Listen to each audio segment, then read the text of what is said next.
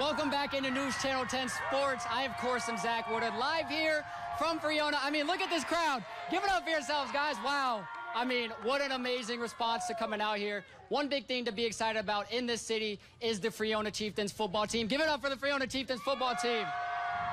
It's a brand new season for him, a new chance for head coach Elias Creo to get a full season under his belt after taking over halfway last year. And although it's summertime, the Chieftains are doing everything that they can to get ready for this upcoming season. A lot of our kids, they work throughout the day. Some of them leave at 5 o'clock in the morning. Um, they go to the dairies, they go to the fields and all that stuff. So we kind of move our practices late in the afternoon to give them a chance to kind of get home, get something to eat, and then come over here and do football. We have a system that was, was put in place way before I was. Even here, um, you know, a lot of these kids have gone through the system, their parents have gone through the system, and so there's a lot of support from the community.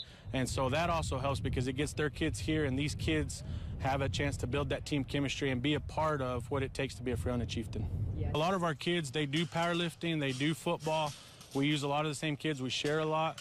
They're around each other a lot. It builds that team chemistry, and then it gets them out here. They, they want to be out here. They want to have fun. It's honestly the best experience I've ever had since I was a little kid. You know, I just from being up in the stands, wanting to be one of the chieftains, from being one of the chieftains is the best feeling in the world. Oh, it's just awesome seeing everybody in the stands. You know, it's nice. It's, it's nice and beautiful seeing the community community come together and just enjoy the night together. You look up in the stands, you hear you hear the fight song, you hear the crowd cheering. You know, this year we were able to bring out some of the little ones, the little chiefs. They were able to run out. They they're awesome. They line up when we're walking in.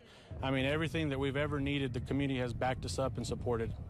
A lot of it was just we had a couple young guys that had to step up, and we had to get some team chemistry going. And once we got that going, they were able to start believing and trusting each other and trusting the offense and the defense. I expect better teamwork, better uh, responsibilities, and you know we have some young people coming up, and we have a few seniors on the, the team, but uh, I, I, just expect uh, more from everybody, which will happen. My expectations are that we all we come out here and we compete with every every team that we play, you know, and I believe that every guy that that plays, you know, they're gonna give it their all.